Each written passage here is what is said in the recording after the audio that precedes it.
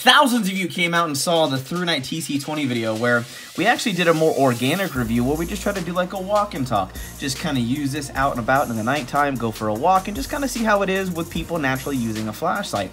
Now, this thing was rocking it kicking it at 3800 lumens, banging out a huge 5000 milliamp battery until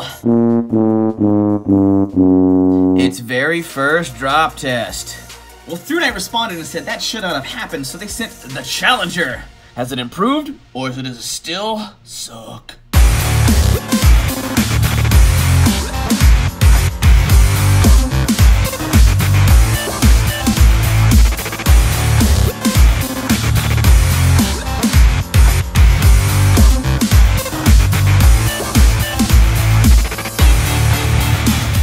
Welcome back everybody and thank you for sticking with me.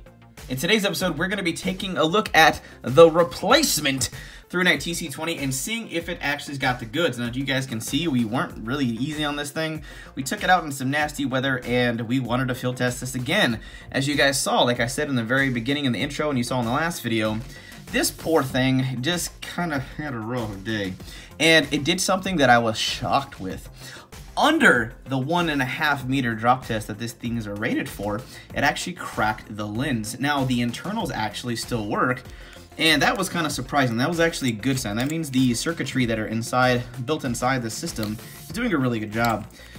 They made it designed to be a very robust system, and technically it's supposed to be an anti-vibration ring inside the lens and it provides some additional waterproofing. As you can see, the circuitry on that is still intact. However, it is no longer waterproof because of the seal breakage from the glass breaking.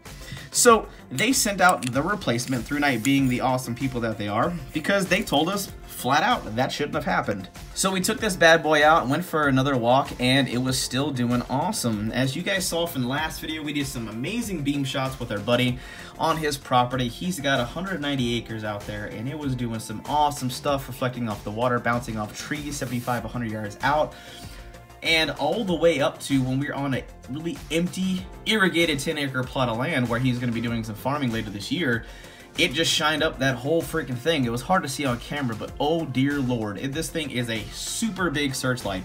And that's actually what this flashlight's designed to do. It's not designed to be some ultra tactical flashlight. It's pretty bulky and heavy.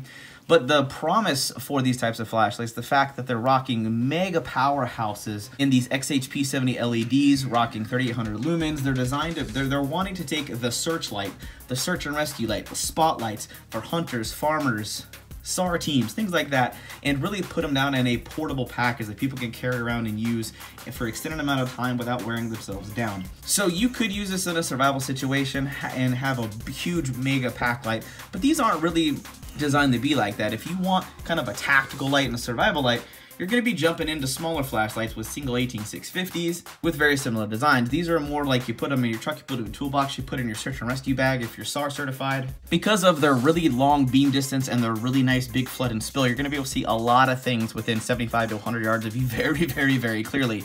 Not much is going to miss your gaze when that thing is blurring out at the 3800 lumens. So with that said, we went back outside, and I mean, I guess I'll just kind of cut to the clip and let you guys see what happened. All right, so we're out here again with the TC20 by ThruNite. We've got it rocking on high. This bad boy is still as impressive as the last time. This thing is absolutely amazing. I know you guys are seeing some of the beam shots from earlier, but um, I'm gonna go ahead and give this to my wife, and she's gonna go ahead and do the drop tests and see if the new one actually passes as it's supposed to.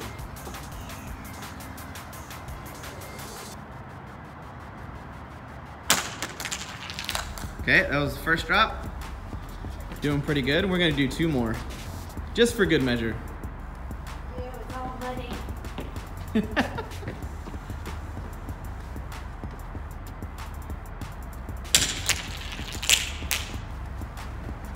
so, so far it's still on. Looking like it's doing pretty good. Uno más. Whoop! Oh, that's awesome. Okay, yeah. so it looked like it's, I'm sure the shock. So yeah, it's a little muddy. Um, I'm gonna go brush it off real quick. And as you guys can see, it's a little scuffed up in some places, not too bad. but it did survive the drops just fine. And there you go, ladies and gentlemen. The proof is literally in the pudding. This thing took a little bit of scuff marks, a little bit of wear and tear on it, but all in all, the anti-vibration ring did its job how it was supposed to. And that goes to show you that's why a lot of these flashlights come with warranties, but additionally tells you why we do all the testing that we do because we never know, even with premium brands like Olight, ThruNite, WowTac, Fenix, Nitecore, all those goodies, you never know if flashlight's are gonna pass and fail. And realistically, if you have a company that's typically really good with their warranties, this might be a good idea. Once you get a flashlight, just kind of raise it up a show love and drop it on concrete. Just kind of do that. And some people like, that's ridiculous, I'd never do that. Well, here's my argument, ding dong. Nowadays, what are they building that is waterproof and very highly drop resistant nowadays? Can anybody answer the question? Ding, ding, ding. Cell phones! Holy crap, have you seen how tough some cell phones have been getting? Cell phone companies are just sick and freaking tired of handing out and replacing all these phones and dealing with all these warranties and the insurance and all that crap with phones that were getting wet, they were being dropped, the screens were cracking, all this crap was failing. They decided to start making cell phones tougher. And cell phones are not survival equipment, they're day-to-day -day stuff that everyone's got. So if they're making those drop resistant, where you can drop those 5, 10, 12 times with all the new high-tech glass that Samsung Apple's creating, and they're making them basically sealed and waterproof where you can drop them in the water, the toilet, the pool, doesn't really matter and take some pretty cool shots. Why can't we expect flashlights and similar high-tech electronics geared towards survival channels to do the exact same thing, if not better? So with that said, am I really that crazy to have these kind of expectations for outdoor equipment? With that said, I'm very happy to report, like I said, the ThruNite TC20 is an awesome freaking spotlight. Like I said, when you guys saw the very first video, I was super, super stoked. Had really thick bezels. We like the orange pure reflector. Had a lot of good throw on it.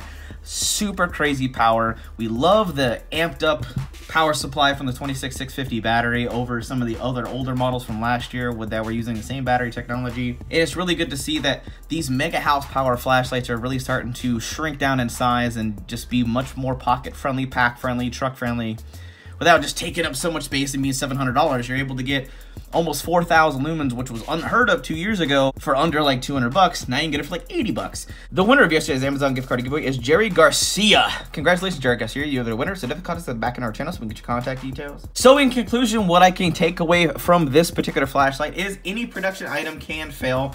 And we showed that. But ThruNite did have some pretty high integrity and they did send us a replacement to retest for you guys because they were very adamant that this particular flashlight should not have failed.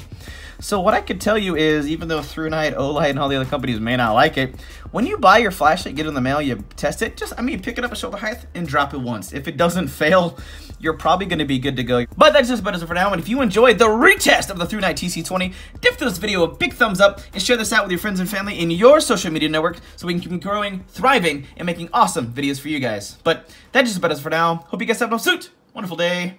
I'm out.